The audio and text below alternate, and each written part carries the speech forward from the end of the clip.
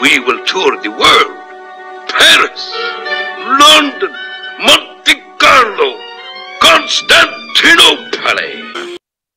Listen, you're mighty preachy, and you gonna preach your neck right, your neck right into a hand.